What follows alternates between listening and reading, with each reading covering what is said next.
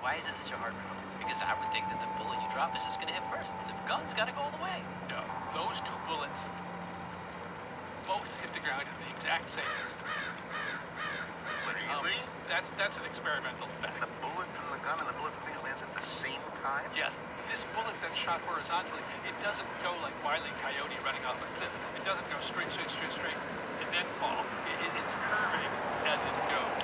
And the thing that causes it to curve as it goes, of course, is gravity. It's the same gravity that is pulling the bullet that you drop.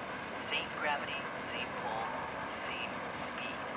So counterintuitively, when you drop a bullet, it falls from this long. When you fire the gun, it'll also fall from that. Even though it ends up a mile away.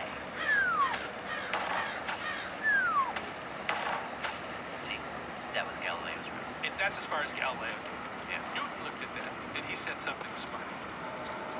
The first thing he said is, okay, this field, let's not pretend that this is some Perfectly flat field that goes on forever. No, we're on the Earth.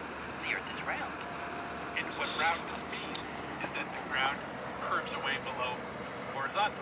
So really what's happening is that as the bullet is shooting across the field and falling to the earth, the earth at the same time is very gradually curving away from it. Now, of course, most guns, you know, they don't shoot